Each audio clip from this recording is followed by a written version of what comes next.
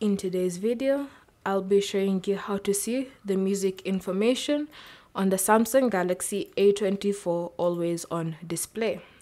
So first, open settings and under settings, scroll down and select lock screen. Then tap on always on display and then you should see the option show music information.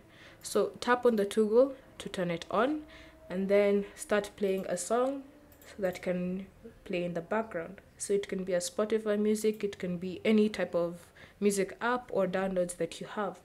And then once it's playing, switch off your phone and then tap on the lock screen to view always on display. And then underneath your clocks, you should see the option your music information. So as you can see, the song that's playing and the artists have been given. Thank you for watching. If you have any questions or comments, leave them down below and we'll get back to you.